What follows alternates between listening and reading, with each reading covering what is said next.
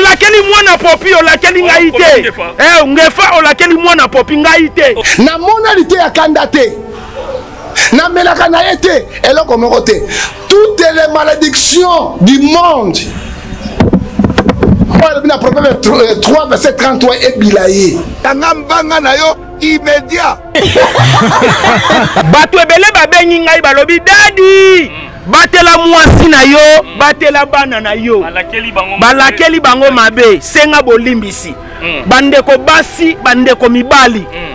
soki bozozela bolimbisi na nga luvunu na beno luvunu na beno luvunu na beno ngai naza na tan te ya kosenga ngefa bolimbisi e banzela nyonso ngefa azoleka mm. azolanda matambe na ngai na basheni nyonso ya youtube oyo alekaka avant ya ya banda koleka yango nga mutu na banda yango nayebi bapatron basheni na bayoutube tokende sikoyo na babilembo na banda kotalisa d'abord un vrai serviteur de dieu d'abord eloko ya liboso aza agité aza na émotion mpe asali émission na kanda papa eza na biloko mosusu esengi te oyo akoloba yango na kanda mm. eza mpe na biloko mosusu esengi toya koloba yango sous émotion mm. bilakeli nyonso ya internet ezalaka nil e sans effet ezwaka te oh, bileke bilakeli ya internet ezwaka te yoka mutu ndenge azoprépare mm. azoprépare euh, cestadi ozwi kolakela nga omediatise yango mm. alobi na nga boye mm, mutu moko te akokanga bilakeli wana sauf ye basala nzambe nyonso papa yo kuza yesu yo mwana kasi ya nzambe ntango yesu asali mokili oyo azalaki na yo boni boye ko bobangisa bayuma bobangisa bangoto bo bomoni ngai nde naza boye esi na sinya liwa nasala première prison a na kinshasa deuxième prison na belgique soki boyebaka te eza na babiloko ebele ofundi nga place ya bien afundi nga mpa nzambe ngai nakanisaki akofundi wi ngefa ko nazobenga ye ngefa aza collègue na ngai youtubeur collègue na ngai ya internet bango baolinga makambo bangefa te bamesie te bango balingi baprophète na bapasteur nayebisaki yo ete ngai naza apanza analyse mm. na internet soki oye nakokimisa yo kopakata mbangu mpo ngai nakimaka te lelo bambuta likasu bato ya analyse bakeni piana baza wapi e nakoyebisa yo denis les ou est parti où est parti de niles afingi paster marcelo adenigre ye akritike ye moninga akufeli mwasi na ye kaka nabeteli ye émission moko via leki mbanga asengi pardon ya mibale yango oyo où est parti de niles nayebisaki bino ete paster marcelo tunansi aza moninga na bino te ngai mpe liteya tunasi mm. naza moninga na bino te e eh, profeti baraka mogisho mm. aza moninga na bino te lokola boyaki na internet tokosila nango na internet natuna yo prophète ngefa ntango yo oyaka na internet oyaka kosala baanalyse ya baartiste comédien ya baartiste musicien ya bapaster ya bapoliticien est ce que osenga bapoliticien wana nzela osengaka bango nzela te e lelo soki basali analyse mpo na yo yo banda kofunda nge epa nzambe agitation ngai nde naza boye naa na 20 ans de ministère mm. nde naza boye mm. nabangaka eloko te peut-être ozokasa lokola ngai nayebi bible te mm. najenaka ndenge yo ojenaka napriaka ndenge yo opriaka e nateyaka ndenge yo oteyaka internet eza d'une manière business toyaka kosala commerce na internet papa est ce que moto ayambaki yo mpo olakela ngai abe kolumba solo parto kotambola simo apamba apesi lukuta ngai nakolumba solo nakomi ntaba ntaba nde moto alumbaka solo yo ningo olumbisa ngai solo yoka nayebisa yo tala papa eza droit de réponse kosala masekite nazoloba makambo eza na nzela asimbi bible alati na bilamba oyo amibengi beveke omoni bilamba oyo eza biloko etongami na maboko ya bato ya masumu nzambe ayebi yango te bilamba olataki ya beveki nzambe ayebi yango te mm. kende kotuna na ensemble de saint epai ya paster emmanuel ntumba mm. elamba oyo eza sali papa bamonaka yango kutu eloko te tala mm. eh, alendele alendele bopekisa mutu na bino oyo bozokoce alendele alendele bopekisa mutu na bino bozokoce maiki lokamba maiki lokamba oya mingi efa opesi ye 20 dollar ya carburant mpo alobela ngai alakela ngai papa otala omoi ngai nde naza boye dabord nabotano nabotamano na quartier ya bilakeli mabe kingasani ya suka sikoyo bilakeli nini ya sika oyo oh, yo okoyela ngaisiligofinga eglise na yeso lakela bato bazobundisa biso na rwanda baétranger pas moi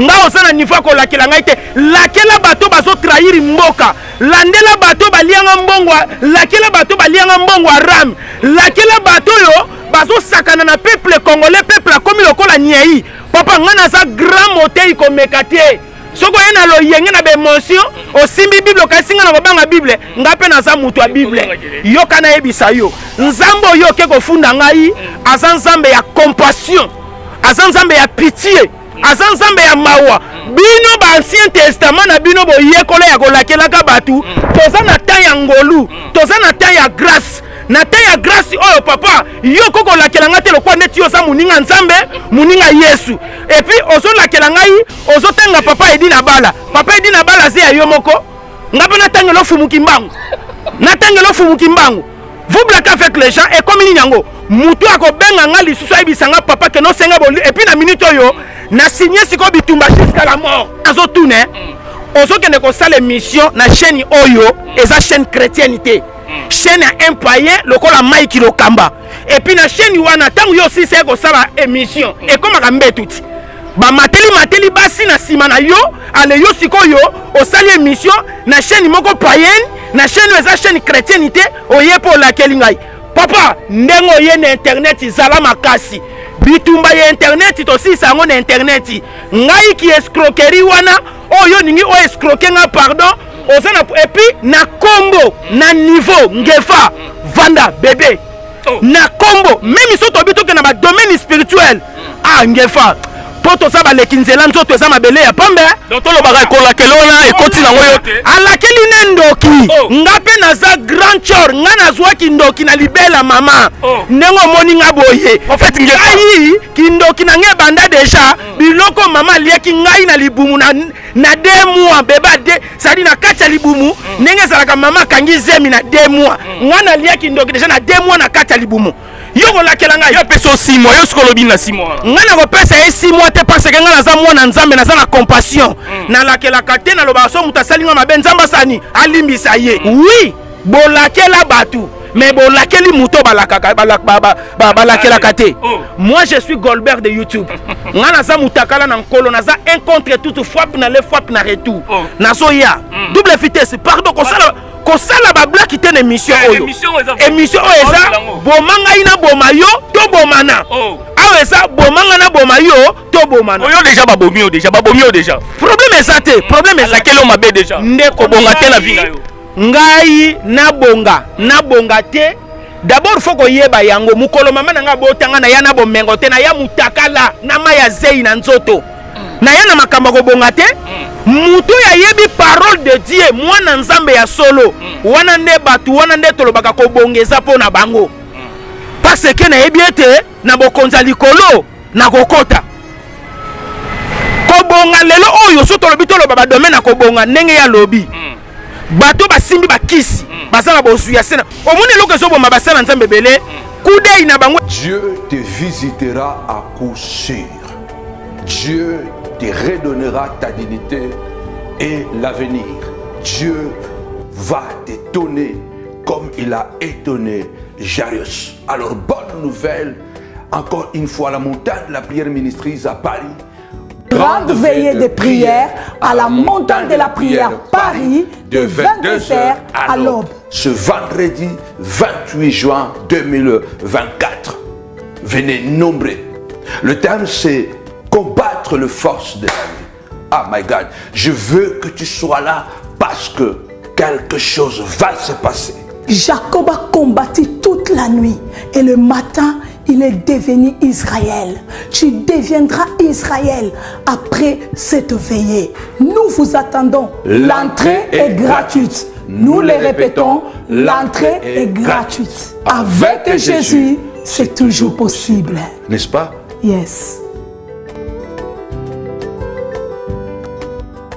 problème des peaux, problème de digestion et vous avez du mal à dormir. Bienvenue chez Grasse Beauté Cosmétique Paris, l'architecte par excellence de votre bien-être. Je me présente Binda Francine, la fondatrice de la marque Grasse Beauté et votre architecte par excellence. Chez grâce Beauté, notre vision c'est de vous aider à vous réconcilier avec vous-même. On vous propose des soins personnalisés, oui, parce que vous êtes unique, votre bien-être aussi. On travaille sur trois énergies vous avez les skincare pour la peau, vous avez le côté holistique pour l'intérieur, pour refléter la beauté de l'extérieur. Oui, la beauté c'est conjugue avec notre bien-être de l'intérieur.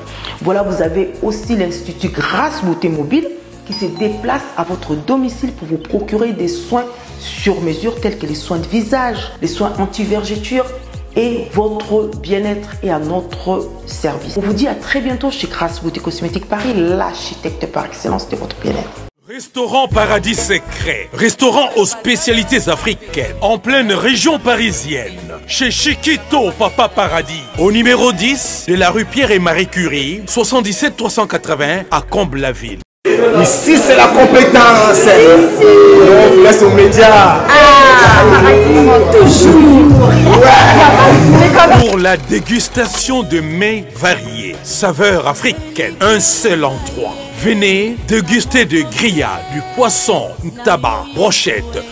ngoula. Tout ça, modèle yambo Cannabiso, chez Chiquito, au restaurant Paradis Secret, le secret du paradis.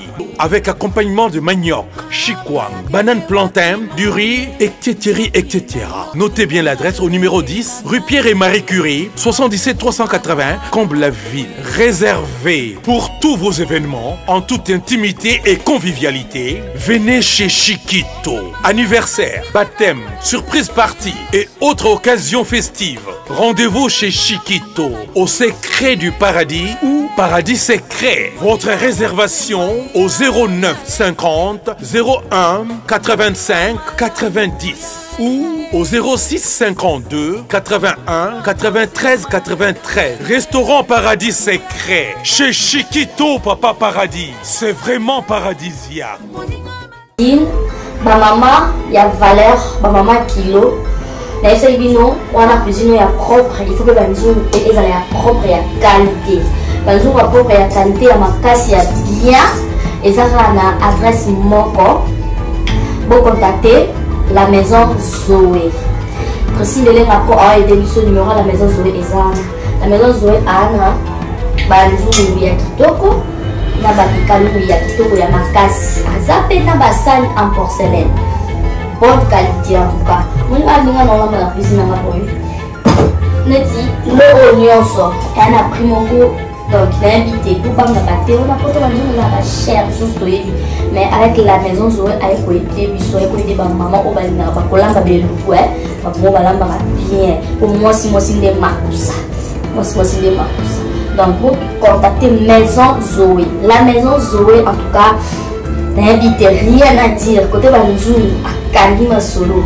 oza partout eh, tosalaka mpe livraison oyo na na belgique na suisse partout na france nzungu te kongo nzungu ya qualité boye oyo ozaza tie na moto moni ya na lo oyo toana toana bacouleur mpe ebele toana bleu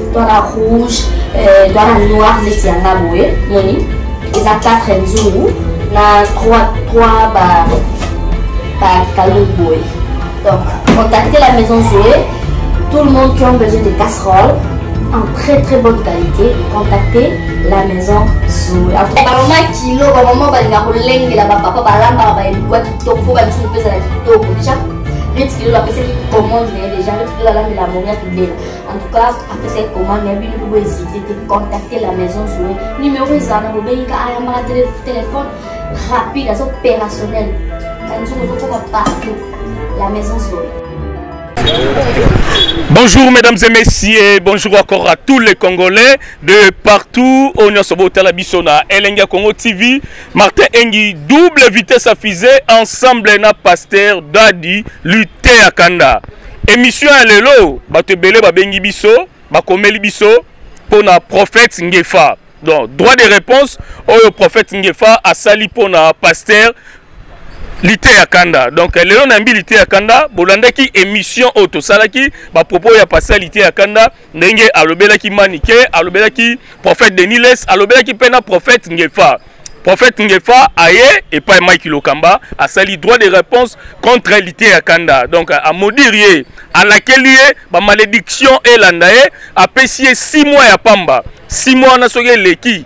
Et là au moins salamité prophète Ngefa a koufi. Donc lelo na zongeli pe passer l'ité ya Kanda. Totuna penda problème yango eza nini? Po to moni yango vraiment est commis sérieux.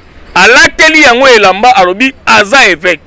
À laquelle famille ya pasteur litie ya kanda prophète ngefa nde nazwi ye moko litie ya kanda soki akosenga pardon na émission oyo ngai nayebi te mpo balobi justice ya nzambe nde nzambe nde akolimbisa ye malédiction oyo balakeli litie ya kanda ata atamboli baeglise nyonso baprofete bapaster ekolongwa te wana selon prophète ngefa litie ya kanda toza ne awa mpo esepelisa eh, Ladi Mfumu mokonzi ya Lose motema ya mama Arlette Mfumu azo tala biso. Merci pe na Jimmy Chimanga porte de la chapelle Paris Bruxelles solution chez Jimmy Chimanga.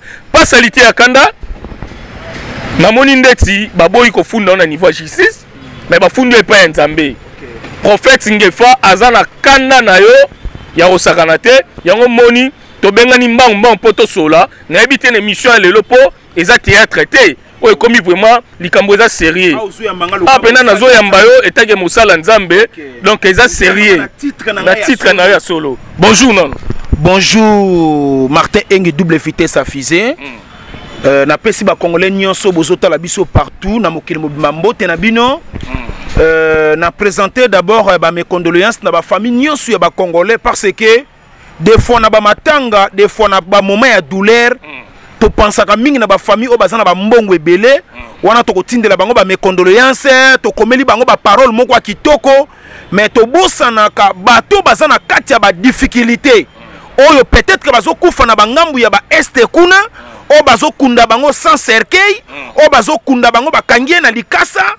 mm. oyo bazokunda bazipie na chasse mm. oyo bakundie na serke ya malonga te biloko ebele tobosanaka mai mingimingi tobazaka mm. na baoyo tozokunda bango avec honneur mpo bango baza na bambongo na bango mpo bazovivre na kinshasa na ville capitale esika kimi ezali sikoyo bato baza néglige hmm. ngai nabundaka nde sikoyo mpo na bango na négligeaka bango te nde baye nyonso babola nyonso oyo bowumisi me bibembe na bino na batiroir ya bamorgue bozoluka meme contribution mpo bokunda ebembe mm. ebembe wana ezokundama te mm. ngai mobola oyo ya ndeko na bino mm. na présente bino ba mes condoléances et na souhaite ba bonne guérison à tous les congolais mm. oyo bazobela oyo baza na fo baleka na baopération mm. ya minene mm. kasi mbongo eza te mm. ngai na souhaite bino ba bonne guérison nkolo oyo tosambelaka akosala bikamwisi mpe bokozwa lobiko na bamaladi ezotungisa bino e napesi lisusu mbote oyo erensemblaka bacongolais nyonso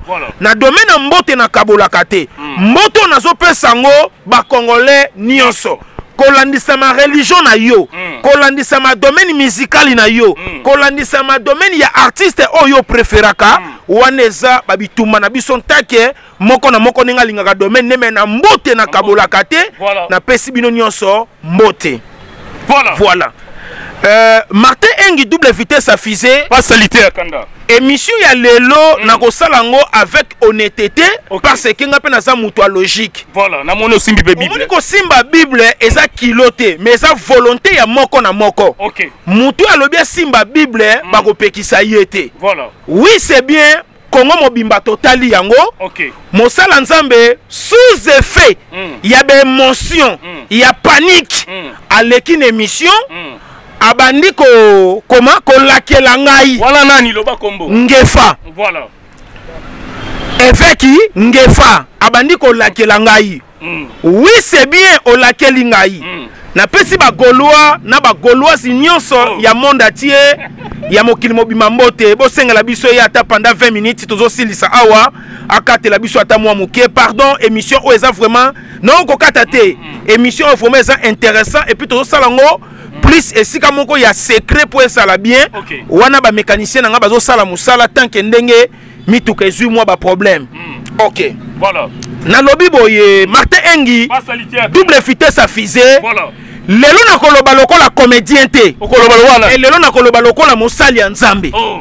parce que bafundi nga epai ya ya nzambe sikoyo fo tosolola tanke basali ya ya nzambe okay.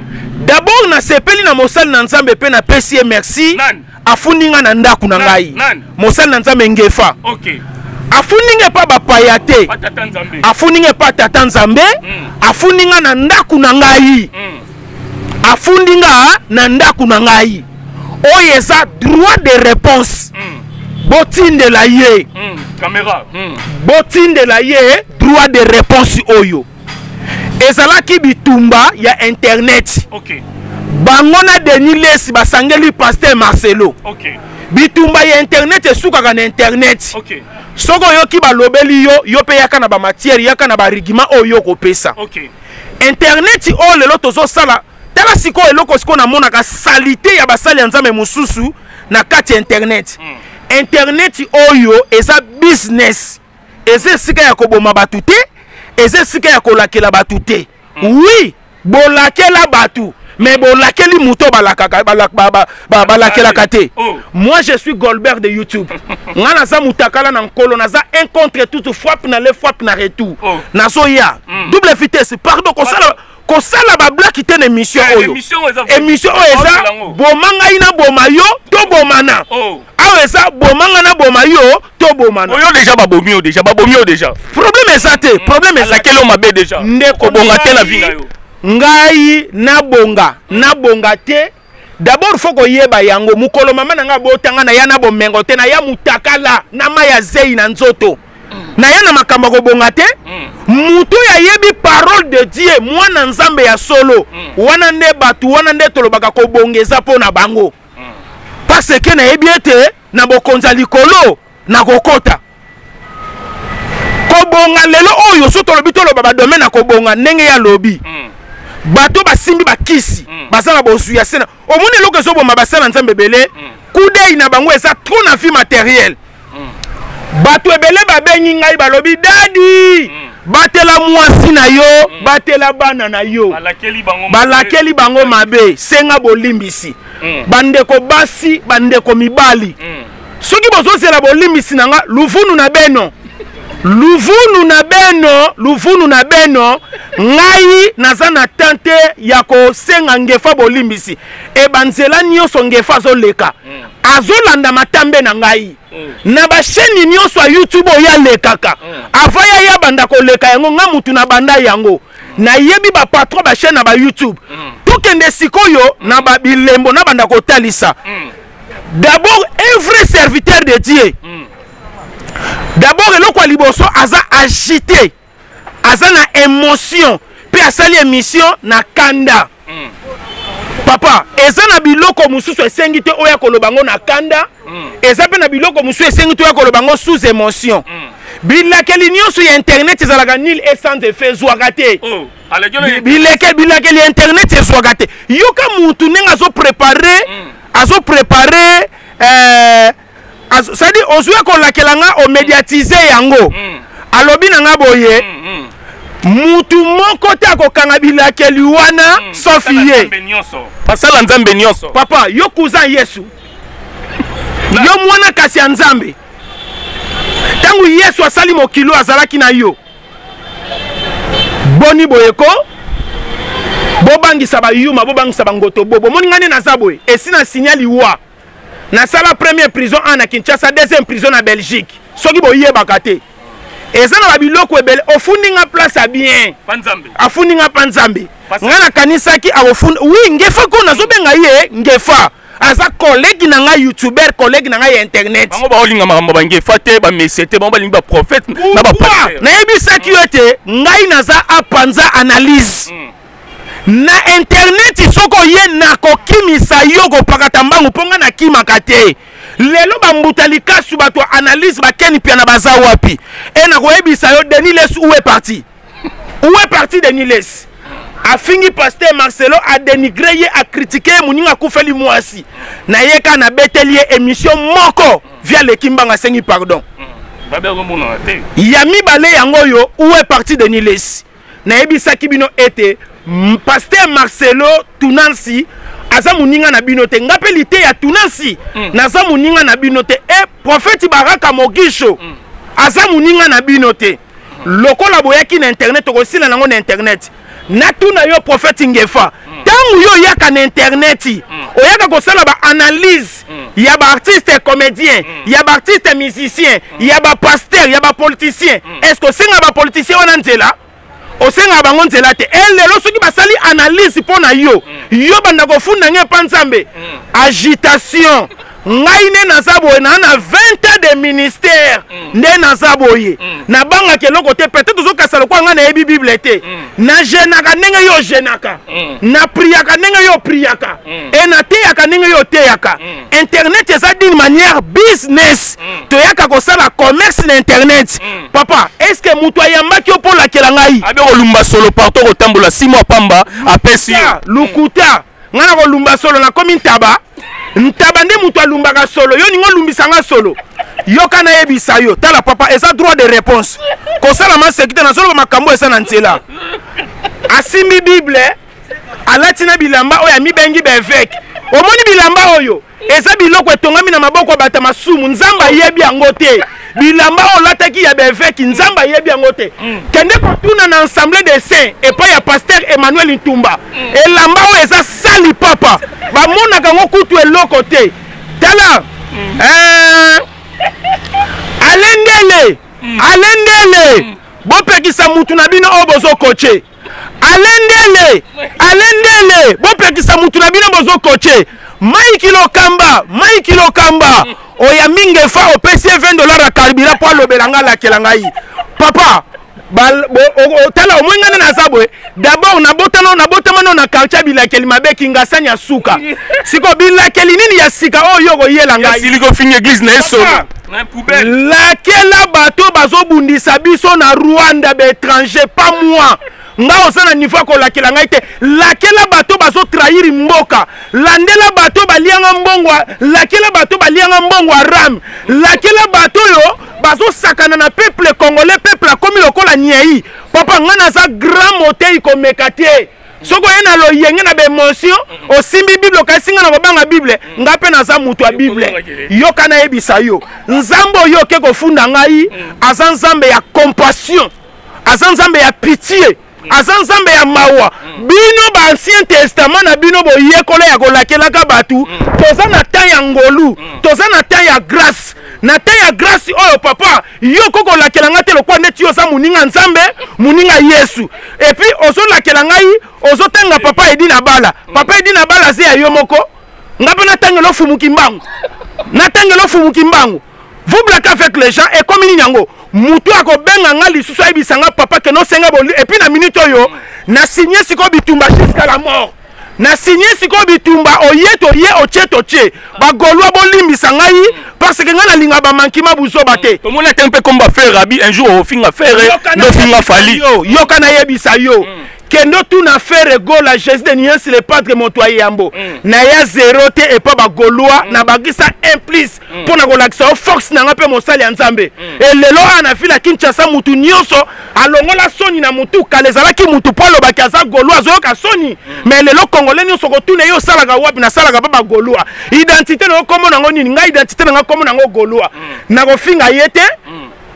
bango baza baingrand mokonzi ya bawangila basala complot na bango bakangisa nga balalisa nga na boloko babosana mosala nyonso nga nasalisa bango natuna yo te natuna yo natuna yo yo moto okotisi kombo afali na makambo ongefa mm. estce fali esa kabela moto ata 200 dollar boye na maboko to 100 dollar bino bolandaka bambongo batv wana mobala maboko makasi akabaka te vous blake avec les gens ekomi nini yango ye se apesa nga mbongo nasalela ye mosala ya ofele epuis ozoloba fali afula ngai fali afula ngai ngai na banda kombo lite ya kanda oyo na maboko ya fali vous blaka avec les gens papa soki bolukaka kanda ngai naza degre ya motu ya kanda mutakala na nkolo soki oye na kindoki mutakala tokobeta na mitakala okimi namoni osimbi mpe bible osimbi bible nasimbi bible eh? bible na ngai eza ya bavantique te nalakisi yo ke nazalaka nango mm. soki nalobi natanga yango nakotanga yango mm.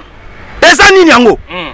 yo okende ofunda ngai mpa nzambe alekeli yo na bible yo so omona nzambe yo so olia na nzambe yo ofanda na nzambe papa totika bisalela ya pamba pamba wana ozofinga place na eza salita biso ozali na mbongo efaka osunga ye otonga obongisa eglize na ye abiofinga eglize na nasaleli ye promotion mpo bandimi na ye baleki maboko makasi ah. bafongola maboko babanda kosunga paster na bango azotambolaka na nzela akendaka kosalaka baemission pamba pamba epuis nazotune mm. ozokende kosala emission na chaîne oyo mm. eza chaîne chrétienne te hmm. chaîne ya impaye lokola mike lokamba epuis na chaîne wana ntango yo osisi ye kosala émission hmm. ekomaka mbetu ti bamateli mateli basi na nsima na yo ale yo sikoyo osali émission na chaîne moko payenne na chaîne oyo eza chaîne chrétienne te oye mpo olakeli ngai papa ndenge oye na internet zala makasi bitumba ya interneti tosilisa yango na interneti ngai ki escroquerie wana oyo olingi oyo escroke nga pardon oza na epuis na kombo mm. na niveau mm. ngefa mm. vanda bebe oh. na kombo mm. meme so tobi tokende na badomaine spirituel mm. ah ngefa mpo toza baleki nzela nzoto eza mabele ya pambe tolobaka ekolakeli wana ekoti nango yo te alakeli ne ndoki oh. nga mpe naza grand chor nga nazwa kindoki na libela mama oh. ndenge omoni nga boye ngai kindoki na nga ebanda deja mm. biloko mama aliaki ngai na libumu na na de mois bebe ade sadi na kati ya libumu mm. ndenge ezalaka mama akangi zemi na de mois mm. ngai naliaki ndoki deja na de mois na kati ya libumu yo kolakela ngai yo pesa osi mois yo soki olobi na si mois wana ngai nakopesa ye si mois te parce ke ngai naza mwana nzambe naza na compassion mm. nalakelaka te nalobaka so moto asali ngai mabe nzambe asani alimbisa ye mm. Mm. mosala oyo efo asala yango wana epuis mosali ya nzambe lokola yo mm. papa nga ntango nabandi makambo ya nzambe yo oza pesher oh. wana na yo apesher te ngefa aza pesher to ngai nabandi makambo ya nzambe ngefa aza pesher oh. bandeko na ngai oya kobenga ngai lisusu ayebisa ngai kende osenga mosala nzambe bolimbisi na kobloke yo wana nayebisi yo ngai naza mwana ongefa boti te soki aza mosali ya nzambe mm. amoni ke ngai nagafaki mpo na ye mm. fo abenga ngai na telefone lokola aleki na tv mm. tokokende na tv ba serviteur ya ko impressionner bato nga ba impressionnaka ngai te nde naza boye boye bobeti masasi nalobi gloire au seigneur nzambe olobaki na kokufa na masasi abuhu pia bobeti nga mpe ya kobeta soki naza makasi nabeti bino mpe liwa eza nzela biso nyonso moto aya te na internet abanda kointimide ngai omoni yango lekaka pa ya pa ya Eh, na afrika info mm. ngai naleka na afrika info wana liboso na yo mpe ngai motu na banda yango mm. ndenge olekaka epai ya vincent chiluzi na banda chaine ya vincent chiluzi liboso na yo yo mwana mm. ndenge olekaka epai ya uh, afrika elengi epai ya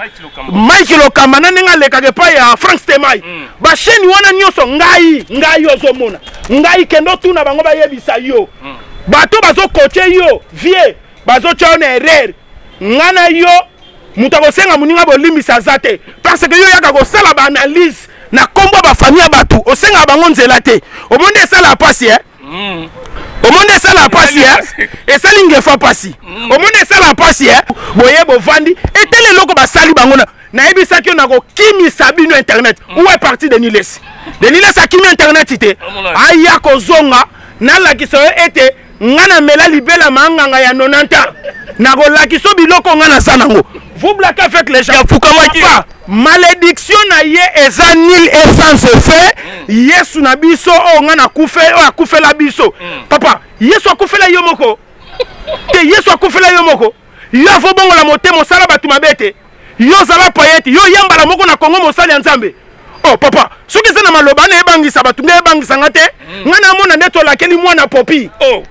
olakeli mwana popi olakeli oh, ngai te eh, ngefa olakeli mwana popi ngai te alendele bopekisa motu na bino osali bien ngai nabangaka soki moto afundi ngai epa leta mpo naza na mbongo ya justice te lokola ofundi ngai epa nzambe awa tozokende inde inde tokende omona nzambe toyebise baproblème topesa na aire tokende papa congolais eza lolendo moto amona nzambe aza te mm. tosambelaka invisible oyo amonanaka te makambo na bino ya ancien testament ya bakanda ya koboma bato jésus christ de nazareth esi mm. abuka yango mm. ayela biso temps de la grâce mm. toza na temps ya ngolu temps ya ngolo tozali limbisa moninga sala baninga bolamu moto asali yo mabe sengela ye memi pardon epa nzambe oyo mosali ya nzambe ya ndenge nini afuka mipa mibengi eveke eveke ya aventurier ah, pasteur. aza eveke papa otya ngai na erreur te naloba makambo ezowuta na motema na ngai mm, mm. e mosusu bato bakokasa e bajournaliste wana soki omoni micro mm, mm. olandaka sentiment ngai nalandaka okay. sentiment te okay, okay, okay. Eh? po tomoni afukami se likambo yango ekomi serieux hey, eh, tozela simo yango papa mm. ah Mm. yebi bapasi ngai namona na vie mm, babisima okolumba solo solo to kotambola olumba solo bato babengana ngai nayebi deja baprofete na biso soki omoni alakeli yo liwa mm. seke deja atindaki deja bato batyelo poison oh. ayebi deja date okokufa na poison atindi batyela yo yango aprofetise yango liwa mboka oyo eza mboka bilaka papa lakela bangunia na biso na este oyo oh, bazobuma bazoboma congolais ntongo midi mpe pokwa lakela bango bilakeli wana epa na ngai te lakela bangunia ya congo lakela bangunia ya congo mpo biso wana kinshasa tozalaka tofandi tozolia tozomela lokola toza bakinois mm. toyebaka te na bakwe moko ya kapitale chaque jour bato bazokufa bazokunda bango bazipiki ye chasse bazipiki ye saki bazipiki ye bakasa bakundi ye ndenge wana lokola aza congolais te aleyo okoya oye kolakela ngai mm. okolakela ngai mpo ozwa nini te olakeli ngai mpo ganye nini na comprendre ke eza commerce eza business bato ya internet mike lokamba atyo 20 dollar amelisi yo na babiloko ya makasi etindi yo na loyenge osala emission bino bato bozobanga yango ngai nazobanga yango te mpo nayebi ete un véritable mosala nzambe Ako koya ko lakela mutu na audacité. Papa nga na bimi na mwasi na yo. Nga na yibi yo mbongo. Nga na bomi mwana na yo. To na tieli yo poison. Na bomi si yo. eza kaka maloba yo mpo oyaka na interneti oyaka mpe kolobela bafamille ya bato oyo oyebi ata motuna makolo te yo bandeki koloba makambo ya marcelo estce liwa ya mwasi ya paster marcelo natuna yo ngefa estce marcelo atindaki yo te marcelo atindaki yo osalela bemission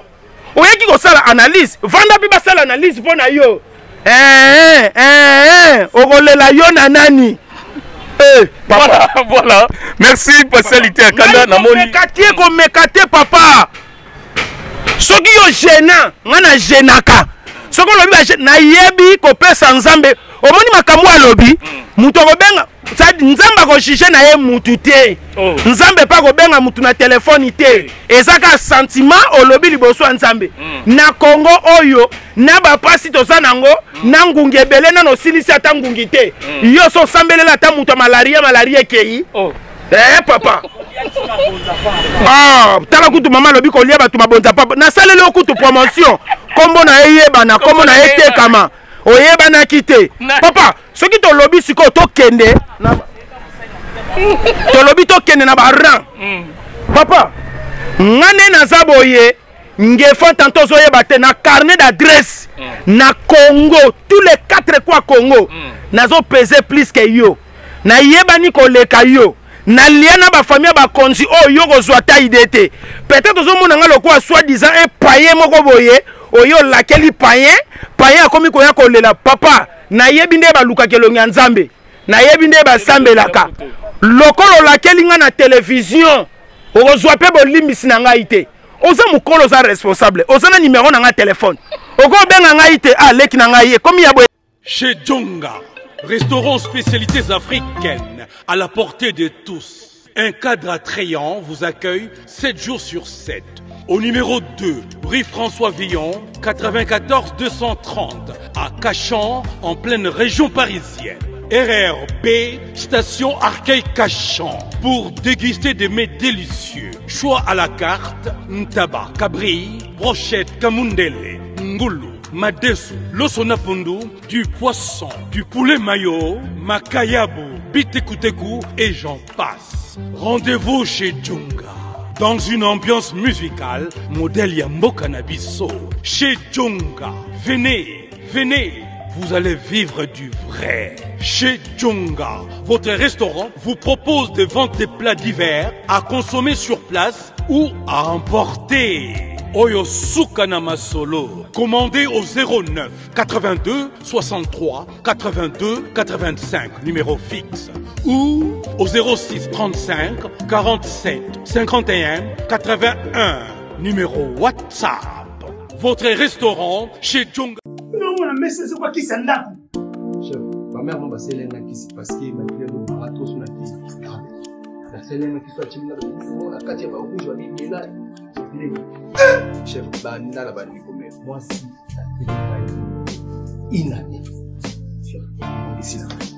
omoni bokufaka oyo oyo oyo biloko ezoboma bino ndela oyo lokola kisi ya ndako papa oyebi te ke laboratoire ya misine esene biso solution wuta kala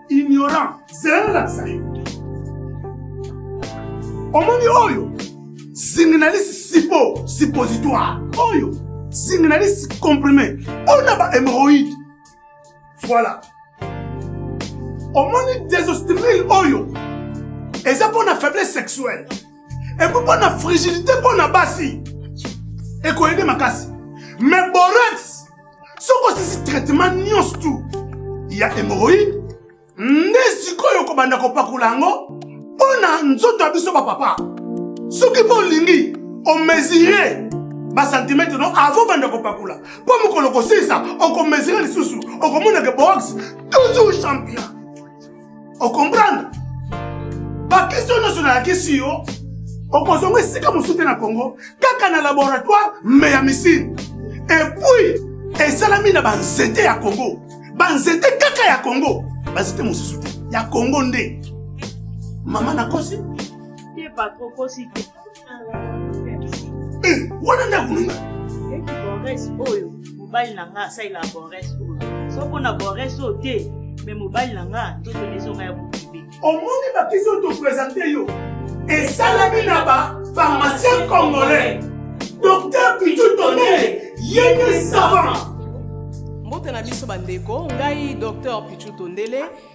naza pharmacien ya formation nazwi formation na université ya kinshasa na faculté ya pharmacie epuis nasali bamaster na niveau ya université marien ngwabi mpe na niveau ya canada na transformation des agro ressources epuis préparation ya bacosmétique thérapeutique naturelle nazali koevre na laboratoire crmta oyo ezali laboratoire meyamisi spécialisé na production ya baphytomédicaments c'est-à-dire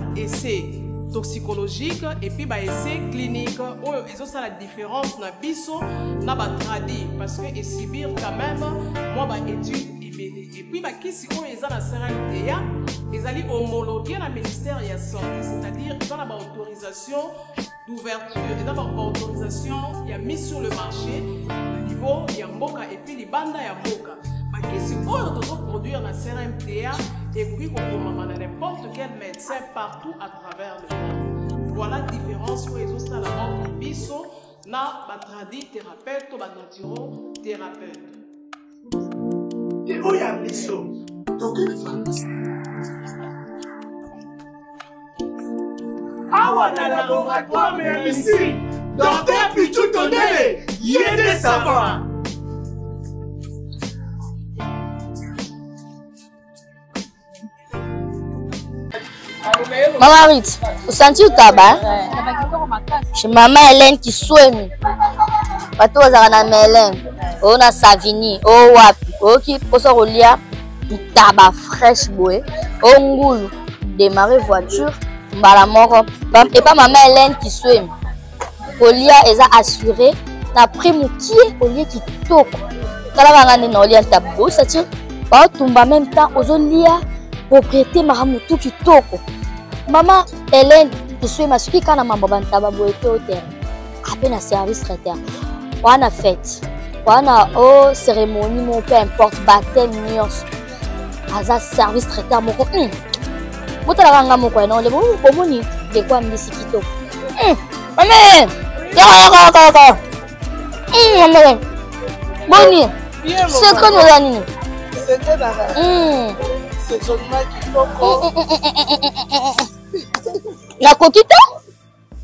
en plus yo osimbi okangi oyo bata melin bata savini tu bazoyaka apa na yo na so balingi bakontakte ngai na 07 53 82 87 72 chez mama helene kiswemi naza na damari lelise 456 avenue du colonel fabien référence na biso ezali renault mosquée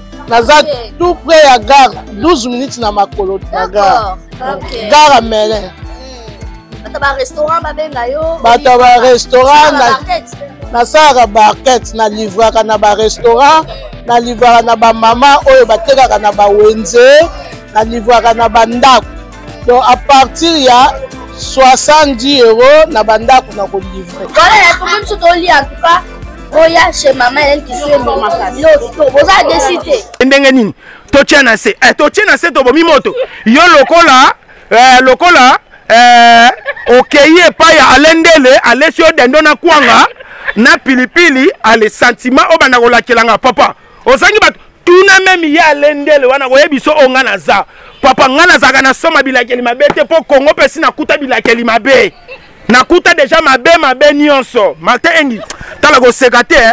oyebi ke naza kuna mposa nabwaka ata badedikasi me makambo ezopianga kanda na kobwaka te me nazopesa programme na biso le 13 juillet ba gaulois tokutana na pullman le 14 papa kose le 14 ba gaulois le 14 juillet toza na double date le 13 na pullman mm. le 14 juillet na char club et le 3 na le 4 août papa herve fere gola abengisi biso mpo toya kovivre double, double tata raphaël double stade tata raphael toya wana ebele deja sida na tiaki maboko na pambolaki yango e nazopesa toujours baprogrami ya basali na nzambe ensemble de saint babengisi biso epai ya paster emmanuel ntumba na terrain municipal oyo ya pascal le 18 na le 19 juillet le 18 na le 19 juillet bana assemblée de saint bacongolais nyonso tokende koyoka sango malamu na terrain ya municipal ya pascal bekatef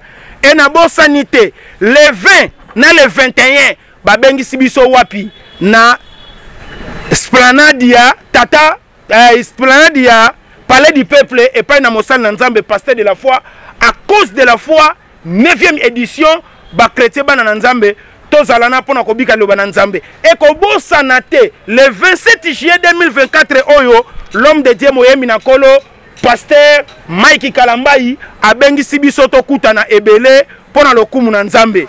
Nabosani te Aime Ponda Dollar Boss Yunishi Banze la fleur du jour femme intelligente félicitations na bebe outi kopesa biso merci na komanda eso nabosani te baoyo ya ngai pipo nzenga mbongo akisi Patrick de Panama Boimbo papa na China Yannick Ekini ya Rombox batika yo bisika bizwami yo boza ebele bokotala biso nayebisaki bino ngai naza golbert de youtube mutagala na nkolo un contre toute frappe na le frappe na retour moto abangisa moninga te biso nyonso toza bacongolais oye toye otie totie yango wana oyo esengeli naloba ozomona ngai mosala nzambe tala ozala papa na nga ozala mama na ngai ndenge nasali droit de réponse oyo soki oye nga mpe nakoya wana nayebisi yo okolakela nga ata 1000 fois tala wana kutu olakeli te fala kolakela ndenge bakoko ya kala babandeki kolakela otomboli mpena bilamba boye motakala na yo emonana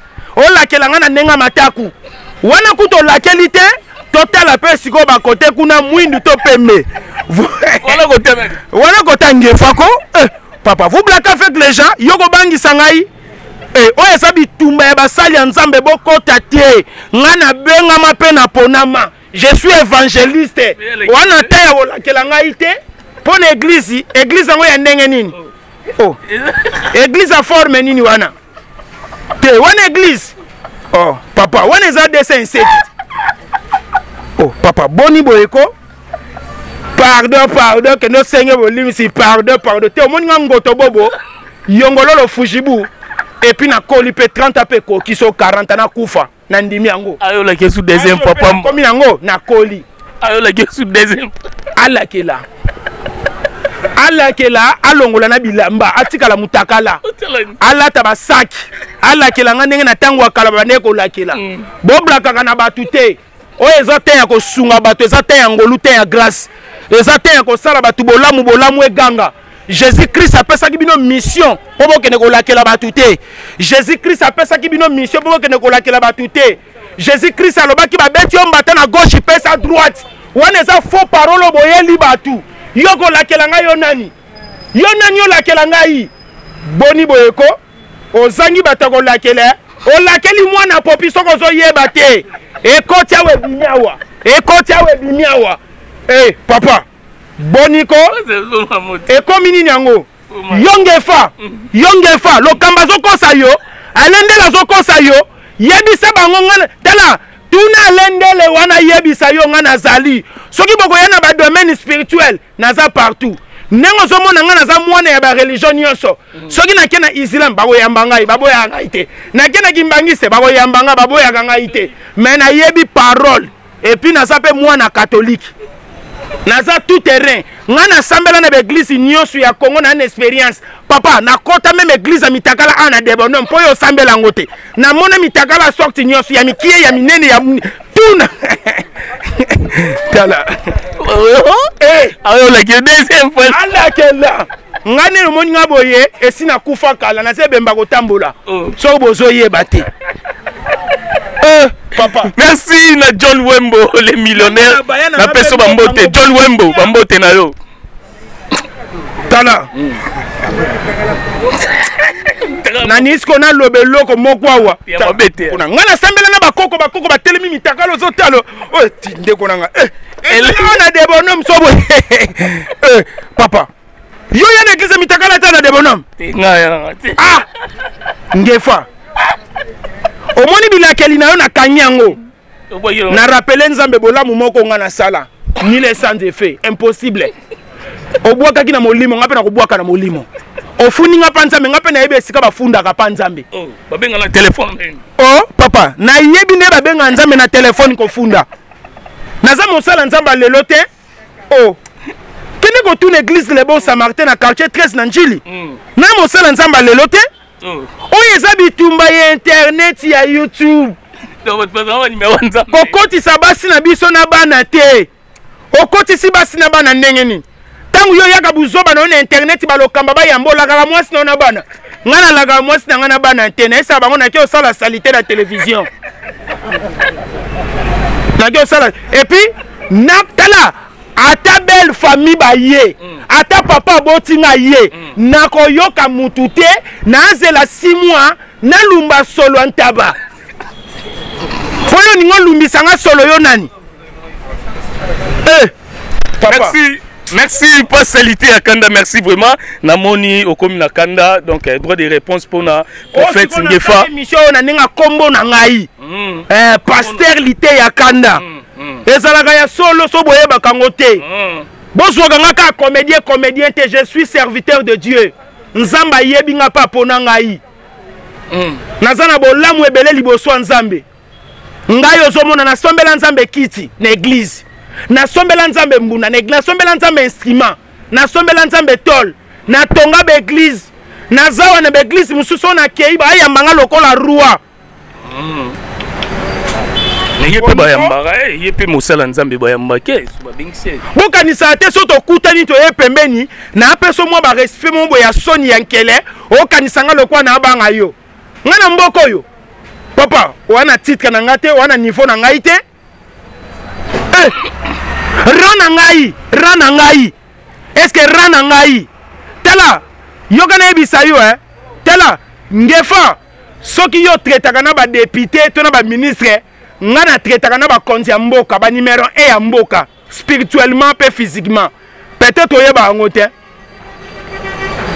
otala bafoto na ngai na facebook na loyenge ngai ozomona ngai ozomona bainvite ngai na kingakati na inauguration ya kingakati nasambela kaka mpo na banyama papa yo ososambela mpo na lion otya lion maboko bakato maboko wana lion ngai nasambela mpo na ngando ndongo omoni ngai boye naza mosala nzambe akinga kati soki oyebaka te nasambela mpo na bakoba lelo kende otala bakoba baya minene bangando baya minene yo so osambela mpo na ngando to osambela mpo na lio mpo na liopard papa bakopasolo libumu wana pa lio okokima lio ya lio micopo obandi mbangu opakati papa kaka aza moninga na yo te nga baswanana eku nena boye meme mwasi na ngai so na bino aswanisa apolaka ngai so tobi toswana na mwasi na ngai apolaka meme bato ya quartier so na bino aswana na bango bapolaka Merci, papa. Yo swana na ngai te. Merci, merci papa. Yo ba prophétie komenga na pesa na mboko esalama. Mm. Ah, kosambela pona lion ekozala nene bakangi basingo. Papa. basambela me basambela mpo na lion te ngai na kinga kati baimage ezali bakangi esinga te mosala nzambe toye na yo aosambela mpo na banyama biloko nyonso oyo e, e, ekokola awa papa na oki osambela mpo na lipopotame nasambeli mpo na ngubu mm. nasambeli mpo na lion nasambeli mpo na leopard mm. nasambeli mpo na bango nyonso mm. papa papa otya sikoyo lio loboko na moto osambela mpo na ye ezaka gri kia merci elenge congo tv merci botika malamu ya kana merci mon petit chikito golois golois chikito ye nde moto asimbaka motuka na ngai na propriété tata pambola yo le grand laver Shikito tata pambola yo. Merci. Voilà donc euh, opesi biso kombo te. Poro Kanza na Lufu. Poro Kanza na Lufu. Na Lufu voilà. Oling motema ya Roda Kabaka. Euh, motema ya Roda Kabaka. Arnaud Dakabaka. Voilà. Donc, ah, voilà. Après mission Tebi, Nezala. Merci vraiment. Na bande konyo sobo talibiso na Elenge Congo TV. Oezali, droit de réponse, il y a pasteur. liteya kanda contre prophète ngefa euh, makambo yango okomi sérieux kua hmm. oyo akozonga na tv tokofongola sikoyo babible tokofongola babible nzambe azotala biso mpo na batitre te onga eveke eveke afuati yo eveke afuati nzambe azotala misala na biso na se na mokili oyo ozala evêque ozala archipaque ozala archibishop ça me concerne pas tomona mpe beveki misusu mitakala ebima awa merci elenge congo tv botikala malamuolakisanga nini posa mpe mm. nakomi na posa siko zela naki otala na opri ya cercueil eh? mpo nasenga liwa na ngai mbangu mbangu mpo namoni bino baoblake na ngai tokoki kotika ngai merci botika malamu